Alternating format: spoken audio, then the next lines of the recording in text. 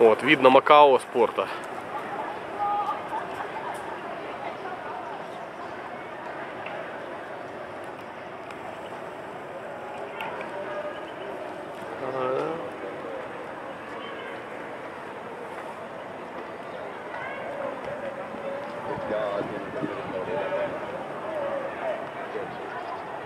Там не сильно видно.